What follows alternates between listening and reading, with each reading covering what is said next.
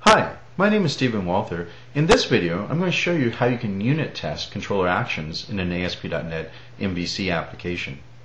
Now, there are two very different audiences who might be interested in creating unit tests. First, um, you might be a tester. And in that case, you'll be interested in building unit tests to, you know, to test an existing application's logic to make sure that everything works as as it's expected.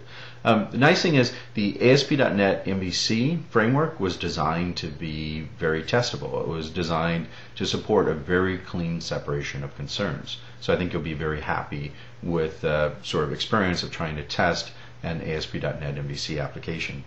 Now, the other group that will be interested in unit tests are people interested in test-driven development. This group, while this group is interested in unit tests, they're they're fundamentally focused on they're primarily focused on using unit tests to drive application design.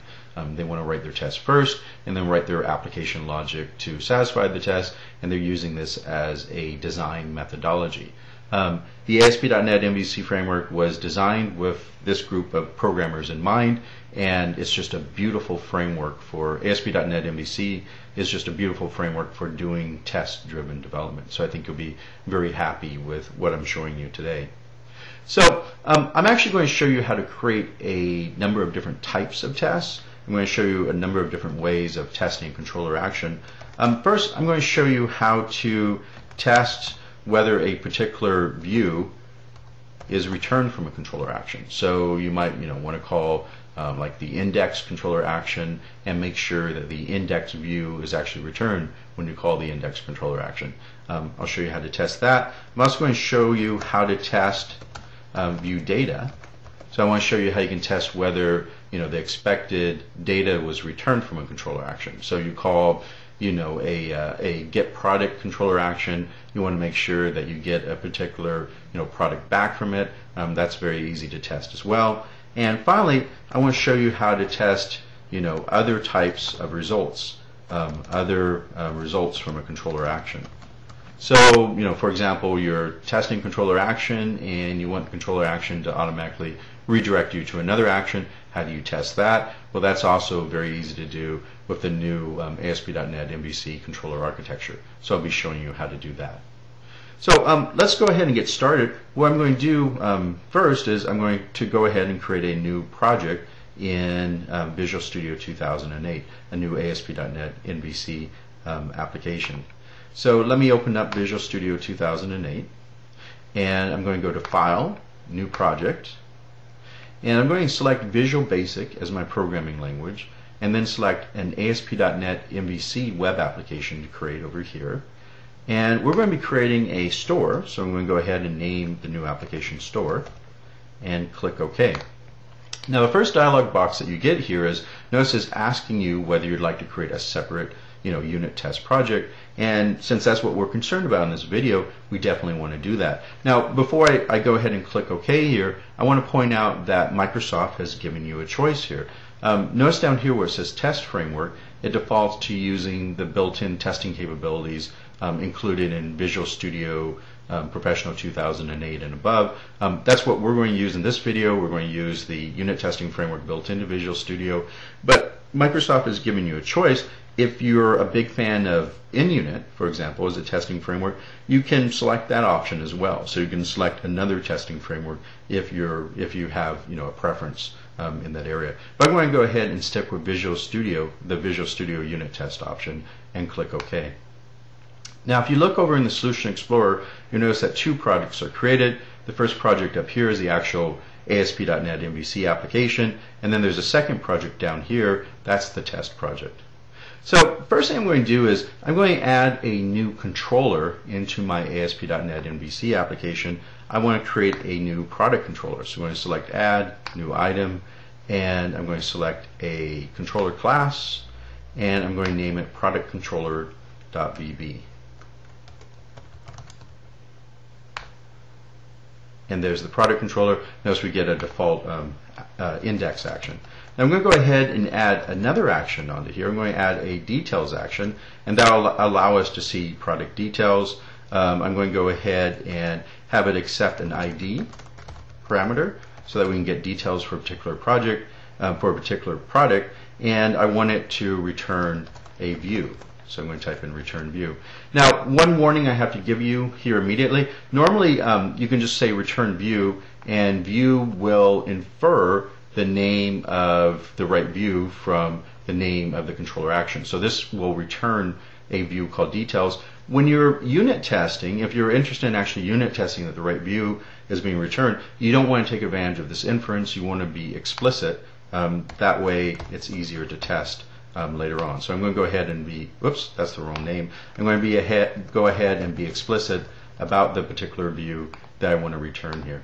So that's my controller. Um, first thing I want to do is test to make sure that, in fact, the details view is returned from the details um, action. How do I do that? Well, I'm going to go over to my unit test project over here, and I'm going to add a new unit test. I'm going to right click on this controllers folder. Um, I'm going to go to add, and I want to go ahead and select this first option right here where it says new test. Now, one big warning here. Um, this is a very tempting option down here. You notice that there's another menu option that says unit test dot dot dot. That's a very tempting option because we are in fact trying to add a unit test, but you don't want to pick that option when you're building an ASP.NET MVC application.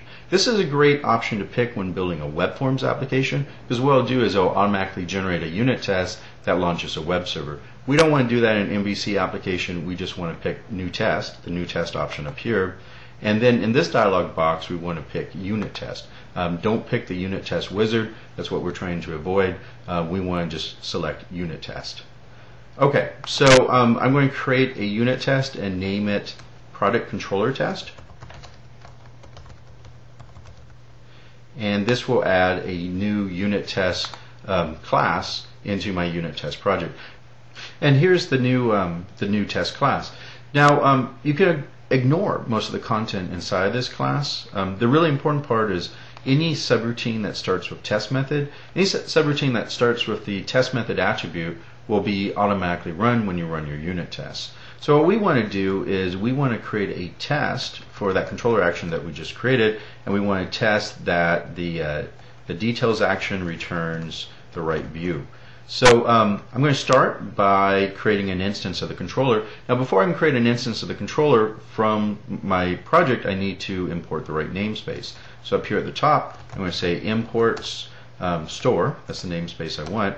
And I know in a second I'm going to need to take advantage of the system.web.mvc framework, uh, the system.web.mvc namespace because that contains all of the different action results and I'm going to need those um, down here my test. So, okay, going back down to the test, what I want to do here is I want to start by creating an instance of that product controller. So we're going to say dim controller as new product controller. And then what, what, i want to do is I want to get a result back from calling the details um, action on the product controller. So I'm going to say dim result as view result and that's going to be equal to controller details and remember it took a parameter so I'm going to pass in 2 as a parameter and there I have my result. Now one thing that I want to emphasize here is notice I don't have to do anything like mock the HTTP context I don't have to do anything weird about launching a web server or doing anything with the you know surrounding um, context to getting this to work because this is just like, you know, working directly with classes. I'm just instantiating the classes, calling the methods, because all that context stuff is taken care of by the MVC framework. We can ignore it when we're doing the unit test. That makes unit testing this stuff extremely easy. Okay, so we got our result back, and I want to make sure that we got the right, you know, the right view. So I'm going to add an assert um, inside of here. And I want to check to make sure that we actually got the details view back. Um, so I can get that by saying result dot view name. And now I've finished my unit test. Let's go ahead and run it. I'm going to go ahead and click this icon up here to run all of the tests in the, in the solution. You can also hit um, Control RA to do the same thing, but I'm going to go ahead and click the icon. Here it goes. It's running and you'll notice that, hey, they all passed. So this is the one I just created, test details view. It worked correctly. if I uh, if I wasn't returning the right view, um, let's change this to details with an extra S and run the test again. You'll notice it will fail. So the unit test is working correctly here. So um, let me go ahead and fix this. And next thing I want to show you is, well, how can you test that you're getting the right view data back from a controller action? So let me um, switch back to my product controller um, class. And I'm going to modify um, I'm going to modify this this method, this action details, so it, it also returns a particular product um, with the details. So what I'm going to do is I'm going to create a new um, instance of a product. So I'm going to dim product as new product, um, pass in the ID being passed over here, and this is the product name. I'm going to say laptop, and there's a new product. And then I can go ahead and pass that as part of the view data by passing a second parameter into the view when I create it. So um, there, I've modified my controller action to return some view data, and now I want to test to make sure that I'm getting the right view data back. How do I do that? Let me switch back to our product controller test class over here, and I'm going to add in another test. So um, let me copy and paste this guy, our previous test, and I'm going to call this guy um, test details view data because that's what we're testing. Um, we again we want to create an instance of the of the controller. We want to get a result back. But in this case, what we want to do is we want to make sure that we get the right view data back. So um, what I'm going to do is I'm going to I'm going to try to get a product out of my view data, and that should be result dot view data dot model. So that should be passed over as the model property on the view data. And then I'm going to test to see whether or not it says laptop, whether or not the name of the product I'm getting back is in fact um, laptop. So I'm going to say product dot name, and there's my test. And let me go ahead and run this. Let me save it first. I'm going to run this by clicking this icon up here. It's running, and it looks like all of our tests pass. That's what this says right here. Uh, if we scroll down, we can see test details view data. So that was really easy. That was an easy way to test view data. The very last thing that I want to show you is how to test whether a different type of action result was returned from calling a controller action. So, so far we've, we've looked at how we can test view results, but there's other types of things you might do in a controller action other than returning a view. Um, for example, you might want to test that when you call the details action and you don't pass over a valid parameter, you might want to test that you're actually redirected off to the index action. So I'm going to show you how to test that. So um, let me copy and paste this existing test method and I'm going to rename it to um, test details redirect since we're going to be testing whether this redirects successfully. Um, I can keep the first two lines of the test. I'm going to get rid of the last two lines and uh, I still want to create a controller. But this time, instead of getting a view result back, what I want to do is I want to get a different type of result back. I want to get a redirect to route result back. And I'm going to get that by passing in an invalid um, ID for a product. So I'm going to pass in a negative 1. And what I want to test, um, so I'm going to go ahead and put in my assert. What I want to test is I want to test to make sure that the person actually gets redirected off to the index action. So I can do that by typing result dot values and then pass in the action value. And what this will do is it'll look up the value of, um, of the action value and check to make sure it's equal to index when I pass in an invalid ID.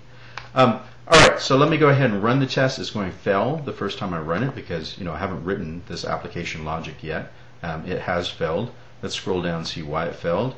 It failed because it's telling us that we got a view result back and hey, that's not a route result. So um, that's the expected failure. So let's go back to our product controller class and I'm going to add a little bit of logic here. I'm going to say, you know, if if ID is less than one, then I want to go ahead and um, redirect them. So I'm going to return a um, a um, redirect to action result and redirect them off to the index action. Um, otherwise, um, they can go ahead and do this stuff down here. So otherwise it's fine, go ahead and return you know, the details view as normal and pass over the product. Okay, so um, let me do a build. Everything, everything built successfully. Let me run my tests. And hey, this is beautiful. Everything passed. So we were able to, to successfully test whether or not we're getting a redirect back um, which is what we wanted to test. So, um, so in this video, I've shown you sort of three um, very common tests that you might want to do on a controller action, and hopefully I've, I've, conveyed to you the sense of just how easy it is to um, test with the ASP.NET MVC framework.